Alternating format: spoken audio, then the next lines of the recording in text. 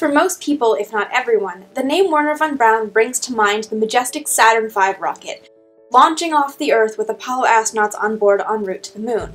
That's how pop culture has preserved von Braun, the smiling engineer behind America's moon rocket.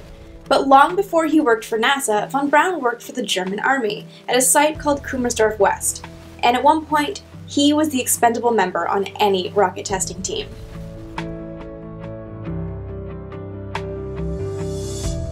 Wernher von Braun reported for duty with the German army on October 1st of 1932.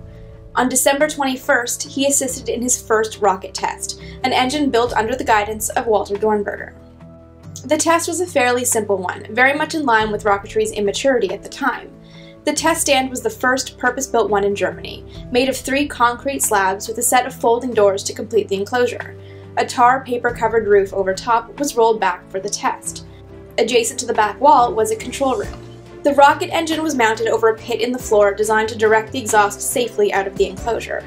The test engine was a 20-inch long pear-shaped block of duraluminum designed to generate 650 pounds of thrust.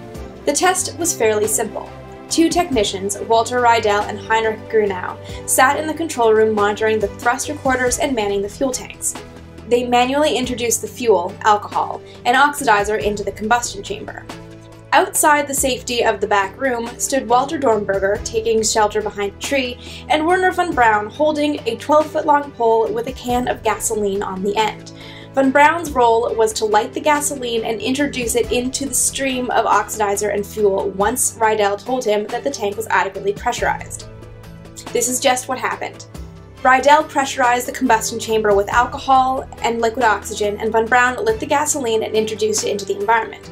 But then the test came to an abrupt end in an explosion. The test stand and engine were reduced to burning rubble and pieces of twisted hot metal.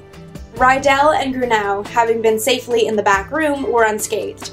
Dornberger and von Braun, however, were exposed to the blast, but miraculously neither was hurt. It turned out that in the seconds before von Braun had introduced the flaming gasoline into the combustion chamber, an explosive amount of alcohol and oxygen had built up in the environment. All it needed was a spark to ignite and explode, and Von Braun gave it a flame. This problem of delayed ignition was one that the Army Group had to deal with a lot in the months that followed, but they eventually figured it out, as evidenced by the success of their V-2 rocket launches.